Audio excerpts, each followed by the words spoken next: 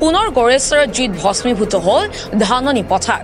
ইয়াৰ আগতেও ধাননি পথাৰত জুই লগা বাতৰি নিউজ নেষ্টত সম্প্ৰচাৰিত হৈছিল যদিও পুনৰ একেটা ঘটনাকে গড়েশ্বৰত সংঘটিত হয়।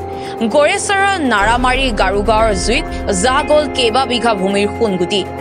বাৰমান বজাত গেৰুৱা গাঁৱৰ নিবাসী চফুৰ আলীয়ে সৰিয়হ খেতি কৰাৰ উদ্দেশ্যে লগাইছিল শুকান নৰাত জুই কিন্তু হঠাৎ অহা এজাক বতাহৰ বাবে চাৰিওফালে থকা পকা ধানলৈ জুই বিয়পি পৰে আৰু লগে লগে গাঁৱৰ ৰাইজ আহি অহৰহ চেষ্টা চলায় যদিও জুই নিৰ্বাপন কৰিবলৈ সক্ষম নহয়। আৰু ফলত কেইবাবিঘা পকা ধান জ্বলি ছাই হয়। চফুৰ আলীয়ে শুকান নৰাত জুই লগোৱাৰ ফলত ৰত্নেশ্বৰ ৰাজবংশী আৰু নবীন ৰাজবংশীৰ কেইবা বিঘা ভূমিৰ সোণগুটিত জুই ভস্মীভূত হয়। কৃষকৰ একমাত্ৰ সপোনৰ খেতিডৰা জ্বলি ছাই হোৱাত ক্ষোভিত হৈছে পৰিয়ালৰ লোক। আজি আমাৰ যিটো আমাৰ বোধপাৰা চুবুৰীত আমাৰ এখন ধুনীয়া পথাৰ আছিলে সেইখন পথাৰ আমাৰ যথেষ্ট অনিষ্ট হৈ গ'ল।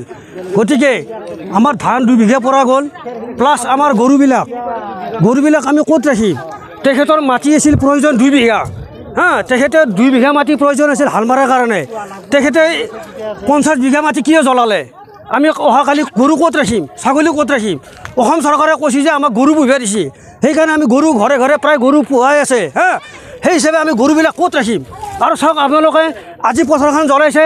কালি মেইন ৰাস্তাটো মাছালিয়াটো আমাৰ মাটি নি নি ৰাস্তাটো কি অৱস্থা কৰিছে? এনেকৈ হ'লে কেনেকৈ হ'ব? এই দুনীয়াখন চলিব কেনেকৈ? হা? গতিকে আমি গৰু ছাগলী দিম ক'ত?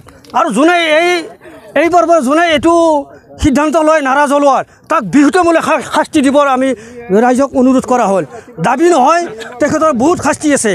গতিকে এইখিনি মোৰ ক'বলগীয়া আৰু যি ব্যক্তিয়ে এই ধান জ্বলাই তেখেতৰ যি দুই বিঘা মাটি প্ৰয়োজন বা এক বিঘা মাটি প্ৰয়োজন তেখেতে নিজে চিধা কৰি মাটিখিনি পুৰক পৰক আমাৰ কোনো আপত্তি নাই। যদি আমাৰ পঞ্চাছ বিঘা মাটি জ্বলি যায় আমাৰ যথেষ্ট ৰাইজৰ অসুবিধা হ'ব। গতিকে আমি আজি দুইশ ঘৰ মানুহ গৰু ক'ত ৰাখিম? ছাগলীবিলাক ক'ত ৰাখিম? তেখেতৰ নিজৰ সেইটো চিন্তা কৰিলে হ'ব নহয়। Bureau report news nest